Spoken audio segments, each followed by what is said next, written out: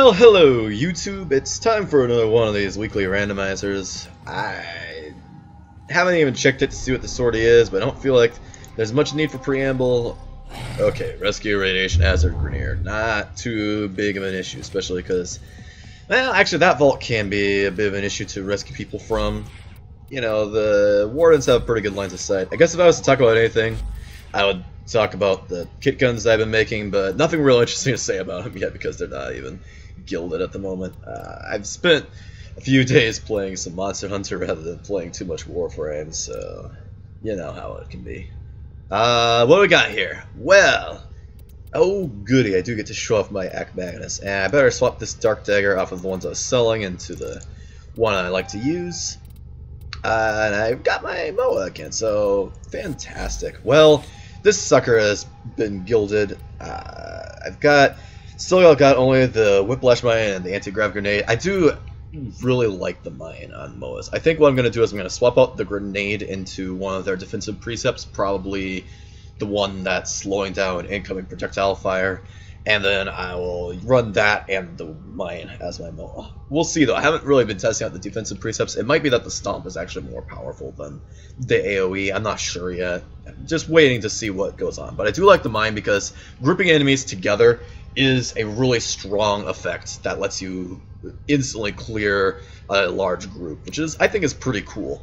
Uh, beyond that, of course, generic stuff. Tank mods, med array, medikit because more goes well with the tank mods, animal instinct and vacuum. Yeah, generic stuff.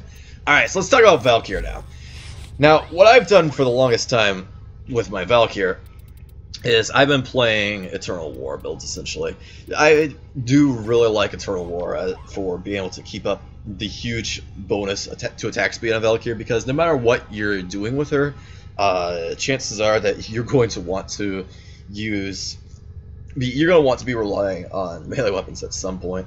And one of the coolest things that Valkyrie can do that very few other Warframes, I think Volt being the only major example I can think of, one of the cool things that Valkyr can do is she can give you a massive increase to your melee attack speed. And with Eternal War, that massive melee attack speed increase can not only buff your entire squad, but it can also last for something like five minutes on average before you finally ha have to uh, recast it, which I think is pretty cool. So what we're doing here to keep that Eternal War going is we're running Prime Continuity and Constitution to get lots of duration onto the build. Then we got Streamline here for some efficiency, just so I can have my uh, Hysteria also last longer because well, I have some efficiency in addition to duration to keep the channeling costs low. More importantly, though, I'm running Streamline and instead of something like Fleeting Expertise so that I don't have to work around negative duration uh, inhibiting my bonus duration for Eternal War. And that's actually pretty important because Eternal War not only gives you up to double the base duration of Warcry, but also that two second increase scales with your power duration. So you want to make sure that your power duration is something like 200 ish percent so that you're getting up to four bonus seconds per kill. Because you not you have to be able to actually get a kill then every four seconds to get the uh, ability to last indefinitely. So that's the number one design decision that I've made there. Beyond that, we've got some Intensifying Power Drift for increased ability strength so that you get more attack speed off the Eternal War. Hunter Adrenaline as a rage effect so that I can pay for my abilities just by damage I'm taking since Valkyr is extremely tanky, particularly with Vitality and Steel Fiber. Now, I've been thinking about swapping in the uh, adaptation mod on instead of the Steel Fiber, but the thing is just that uh, Valkyr does get an additive bonus to her armor when the uh, when um, the war cry is on, but by the same token, she also just gets such a massive quantity of armor from steel fiber itself that even with war cry off, I find her to still be exceptionally tanky with just steel fiber. So I feel like I, I can sacrifice some. I can sacrifice some tank stats when the ability is on to gain some tank stats when the ability is off at that point. Anyways, Steel Charge, of course. Uh, that's basically the only build I run in my Valkyr. Now, the other thing that people do... Uh, yeah, Wordus. Now, the other thing that people do actually typically run on their Valkyrs that with Warcry is narrow-minded, just to make sure that the Warcry lasts for an insane duration. I find, however, that I dislike narrow-minded because it essentially makes her other two abilities, the Rip Line and the Paralysis, very, very hard to use. You know, it reduces the range on Rip Line from 70 meters down to about 30, which is significantly less powerful. And I do actually like to zip around on, the map and take advantage of that mobility, which is why you see me using which is why you see me using this build with just Constitution instead, which is obviously a bit of an odd choice since Valkyrie already has built-in knockdown recovery. Now, what else we got here? We have some Riven weapons. Actually, all three of these weapons I have a Riven on, of uh, differing power levels, shall we say. Uh, my Glaxion, I actually love this 5-star weapon Riven with damage and multi-shot. I feel like the Glaxion stands out to me as a weapon where getting a powerful Riven can change it from being a mediocre weapon into something actually incredible. And so let's talk, go ahead and talk about this, because I feel like out of all these weapons I have to talk about here today, the Glaxion is probably the most underrated. So what is it?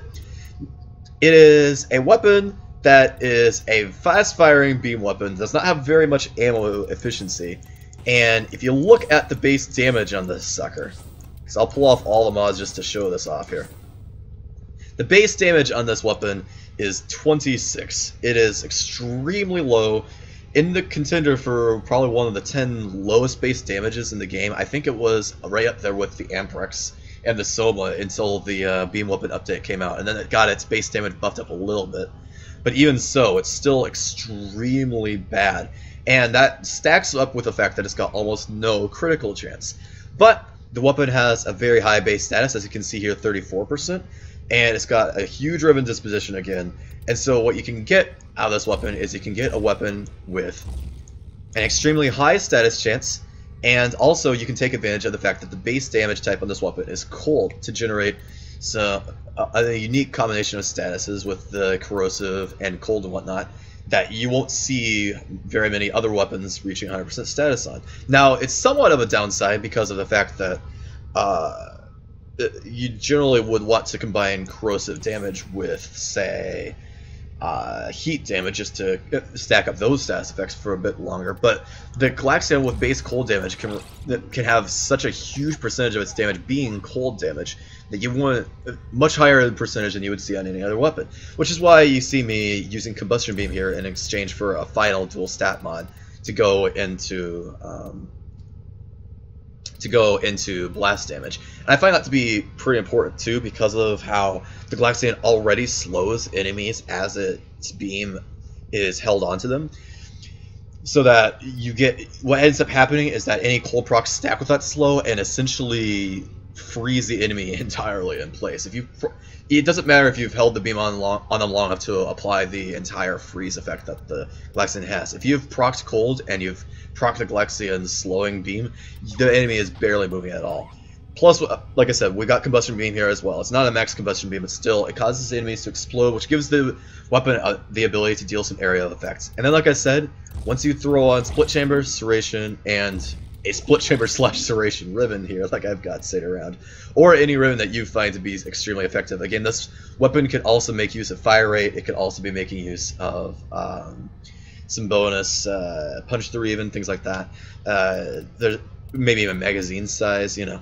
Uh, there obviously there are some other things that come to mind that you could potentially add to the weapon, but I just really am liking my uh, my raw damage Riven here because the biggest weakness of the Glaxion is that it's it's elemental damage rather than physical damage, so you can't get slash procs, and it's got no crit, and it's got very low base damage. Those three weaknesses are what you're playing around. By increasing the damage to obscene numbers, you get around that we- those weaknesses by a lot, and you'll find that the damage on this weapon is actually pretty good. 12, uh, 12 rounds a second, dealing a thousand damage per round is in the tens of thousands of damage per second. And you've got 100%, well, not quite 100%, but on beam weapons nowadays, it doesn't really matter whether you're at exactly 100%. That's another one reason why I'm not using a fourth dual stat here. you've got close to 100% status chance per tick at a weapon that fires this fast. Yeah, and that's pretty crazy at destroying armor and just shredding through armor targets. You'll see it. You'll see it in game because I will be pulling out this Glaxion. Now, is it is it this Ak Magnus? No, it's not, because this Ak Magnus is one of my favorite weapons. And yes, there's a huge Akvasto versus Ak Magnus fanboy debate going on right now. But the thing is, I don't have this kind of critical Riven for my Akvasto, and so I have to come down on the side of the Magnus. Just because 104% critical chance on a weapon that has almost a 7 times critical multiplier with all the max prime bonds and this Ak Magnus Riven is just nutty good. It's just nutty good. Of course, the rest of the build's pretty generic here. Damage, multi-shot, bit of extra fire rate. Not that I can necessarily fire quite that fast when I'm spam clicking with my mouse here, but you, if I ever throw it to the uh, rescue target, you'll see that come in incredibly handy. And then, of course, some corrosive damage, because we have to have a little bit of elemental damage on here to make sure that there's more damage to multiply with the criticals. As you can see, because it's a pistol and has so much multi-shot, the dual stat mods also still pump it up to a huge amount of stats chance. The Ak Magnus is indeed one of my favorite all-time weapons in all of Warframe, as if you go and look at my profile, I've got more hours logged with the Ak Magnus as my secondary than any other pistol. Have huge numbers of kills with this. I've owned it for a long, long time. Is, is the primary reason. I've had Ak Magnus just about since well, just about since I got this account. It was within the first 20 or so weapons I crafted, I would say. Maybe even within the first 10, I'm not sure, but it was one of my favorites for a long time, and I have not ever seen this weapon fall off. now, we have a complete misfit of a weapon here. I love the Rakta Dark Dagger. I think it's one of the best stealth weapons in the game. And Valkyrie is definitely not a stealthy frame. She is a frame that wants a weapon that can absolutely crush large groups of enemies at once. Something like a Galatine or a polearm of some kind, or maybe even hammers if you lean that way, which I don't. But anyways, daggers I think are a bit underappreciated too because people don't understand exactly how much bonus damage covert lethality applies to daggers. So just so that you're appreciating this here, covert lethality is giving plus 100 base attack damage to the weapon. In other words, when I throw the lethality on, it almost it's doubling to tripling the weapon's damage output, which is pretty crazy. Now, why do I think that the Dark Dagger is an insanely powerful weapon? Well, it's because of the fact that it's got this Dark Dagger augment here for the Blight effect, which causes the weapon to uh, restore energy whenever Blight goes off, because this is you know because because blight restores energy and gives movement speed as its effect. And that not only is the movement speed useful but it's also got the dark dagger's base effect because this is one of the only weapons that is a syndicate weapon and also has a syndicate augment. That is to say um, for melee weapons because all of the other syndicate weapons in the primaries and secondaries have their have essentially an augment built in Right, they give the blight effect or the whatever justice, purity, whatever effect that is. That's built into the weapon. But the dark dagger, on the dark dagger, just like all the other syndicate melees, has a different effect from the uh, generic blight or whatever. It, in this case, the dark dagger's effect is that it gives you over shields and it uh, uh, it gives you over shields when striking an enemy that's been afflicted with radiation, and it also reduces enemy visibility when it's held. So you become if you're visible, if you would be visible to enemies for any reason, which you probably shouldn't be, but if you would be visible to enemies, the radius at which they will take, they will see you, they'll pick up aggro on you, is much reduced. And I'm going to quick reorganize that because I think it makes a little more sense to point out that I'm using some corrosive damage here, in addition to some additional Toxin damage. This Riven here, as you can see, the disposition is pretty terrible. What I am, what I did want to roll it into was a Riven that had some bonus damage on it, some Toxin, and most importantly, attack speed. Because the number one thing to understand for daggers is that you should be using them for finishers primarily, and uh, because of the lethal damage on finishers with covert lethality, and finisher animation speed will scale up somewhat with your attack speed. So you want to stack as much attack speed as possible. And I actually have a pretty good example of uh, that going pretty crazy if you look up here at the ceramic dagger, which I have a 2.30 attack speed on because I also have a riven on this, and this particular dagger has a 5-star disposition for attack speed. But regardless, I feel like the Rakta dagger is still by far the strongest dagger in the game, specifically because of its ability to um, not only have bonus stats because of being a cynical weapon, but also have the augment effect there.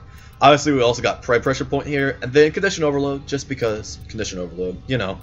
The what dagger still is dealing 500 damage and attack and has a reasonably not as terrible status chances as you might expect. So, you know, you go with it. You go with Condition Overload if you want to make the weapon pretty cool. Also worth noting that you can stack up status effects not only by auto-attacking, but also by proccing the Syndicate effect. And that'll give a vir an AoE viral to all enemies, which will stack up another stack of Condition Overload. So uh, there's, there's some logic behind that there, I think. Uh, last thing to show off is, of course, Valkyrie Talons. I know I've played Valkyrie before.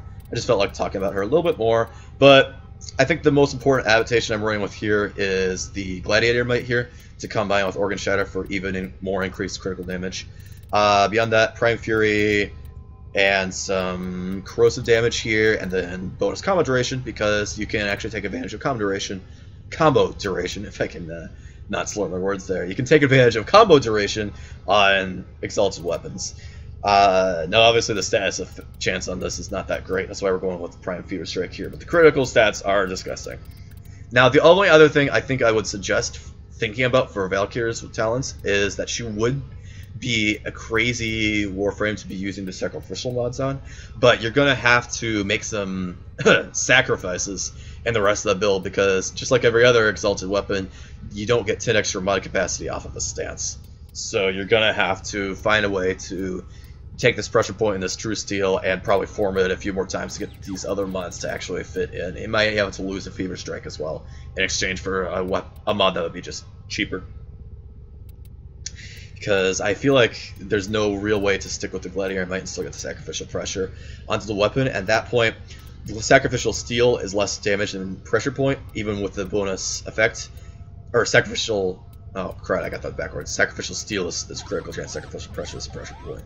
Point being, even with the mod set bonus, pressure is less damage, and steel is more crit, significantly more crit chance than true steel, but you'll be losing out on probably an entire mod in the process, which would be this gladiator might here. At that point, you're back, you're back losing out on the the critical statistics on the weapon somewhat. So I feel like it's fine without those mods equipped. Now let's go ahead and uh, let's go ahead and swap Valkyr over to what I normally play her on, which is Naramon.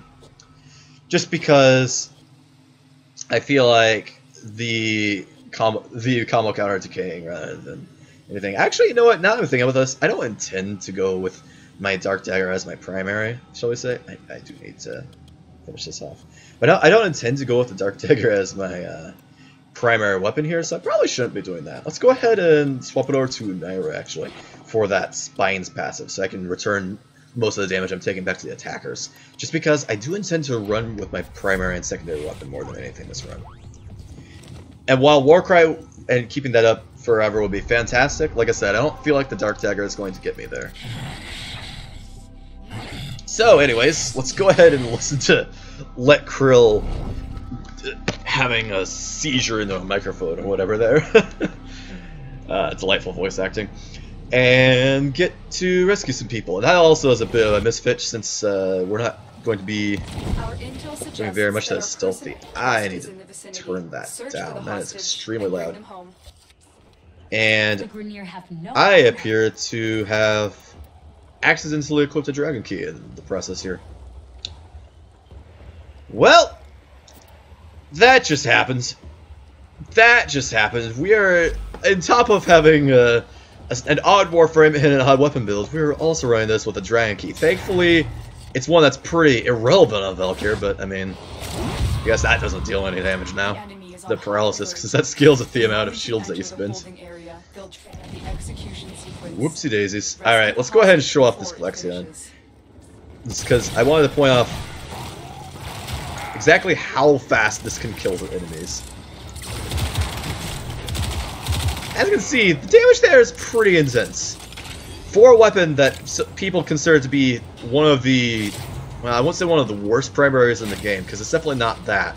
But it's certainly one of the most disappointing, I would say, since you have to spend so many resources to craft it. Oh, crud. Can I... I can probably, yeah, I can probably shoot the sandwich while I'm irradiated there. That would be so awkward. Uh, one of the cute things about radiation hazards too is that in mission types where having crowd control is kind of necessary, it becomes somewhat less of a problem.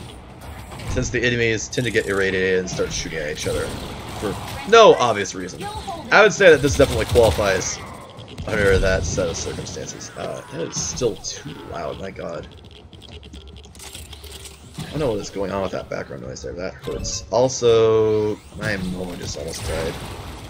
I myself am dying, so let's go ahead and hop onto Hysteria. No, Moa! Alright. As you can see, even though we don't have a fleet expertise or anything of the kind, we still have a ton of tank stats, or not a ton of tank stats, but a ton of channel efficiency there onto Hysteria. And even without the Warcry being applied, since I've been running without it for a little bit, Valkyrie is still just incredibly tanky. 1700 or something ridiculous armor is just the kind of nutty amount of armor that most Warframes want to have total, as opposed to just as their base stats. And it's one of the reasons why I feel like Valkyrie is definitely a candidate to apply Umbra mods to if you like, like putting 7 form on her or something crazy. You know. Alright. Well... Let's, uh... Oh, good. I was gonna say, let's go ahead and uh, heal up all these suckers.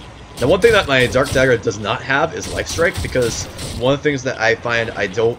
is a scenario that I don't need Life Strike in, is when I'm playing as a... Let's go ahead and do that, why not? No, you murdered my... Murdered my sandwich. This thing is not taking damage, is it? Oh god.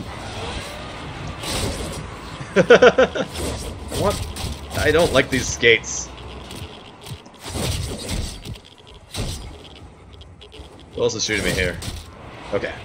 Let's point out the Magnus because I wanted to show off how good the Magnus is at actually murdering things that are stats immune, but I guess let's show off against some Grineer instead, since there's some Grineer here now. Okay, he killed himself on the Unairu passive. This is why I feel like Unairu is one of the craziest tank setups in the game right now. There we go. That's a very high armored unit. That's taking a ton of damage. Uh, is there a Grineer here somewhere? Yes, there is. They just want to go into the rescue vault on full health if possible, since there appears to be a large amount of radiation just outside here. So let's go ahead and pull out the Ak Magnus just because I want to pop the wardens as best as I can, and since they're going to be most likely alerted along the way. And that is a change of plans. No, no, I knock you down the other way around. Gosh dang it.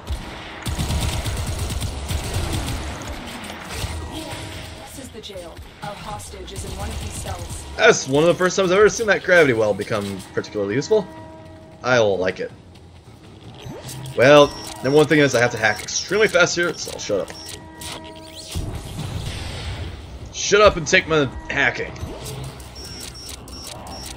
And Sandwich, shut up and take the aggro. Damn it!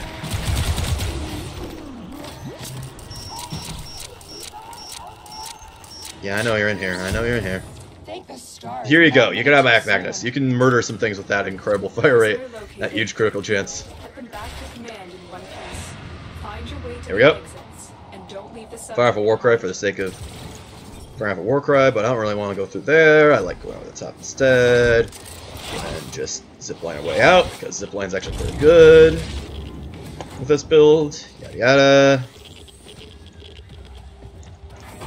Keep running with the Glaxion. Hostage seems to be fine, etc. Hello? Hello, you're gonna walk straight past me without seeing me there, sir? Excuse me, I said good day, sir. Alright, forget it. Dark Dagger time. Had to show this weapon off sometime. It does still deal, as you can see, pretty crazy amounts of damage, considering how bad people like to think that daggers are. Just have to be sure I don't accidentally kill the hostage in the process there. Also worth noting, one of the swipes in Homing Fang does have a built-in slash proc. Which I feel like is very much worth noting. Ah, I tried. Mailing those, meleeing those guys is just difficult. Alright, is this the exit tile? As you can see, oh, the Talon's... What, what's going on with the duration on Warcry there? Is Warcry not having the Eternal War uh, proc on it? It turned off after a while. There is the energy restore that you would see on the uh, Rakta Dagger when you get an affinity, which I definitely got off that. Um, definitely got off of that uh, stealth kill, because these enemies here are unalerted for God knows why. Oh god. Man, this is just such a beast of a weapon if you know what you're doing with it. Alrighty, let's just call that a day. Let's just go ahead and call that a day. That was sloppy and messy, but ultimately it wasn't that difficult either. First sortie mission, radiation is just not that big of an issue if you're gonna solo things. Radiation is always the biggest issue if there is an objective like the rescue target, but with only one player, he doesn't get accidentally killed that often, you know. Alrighty, folks. That is going to be the randomizer for the day. Herp De Derp out. nice talking with you guys.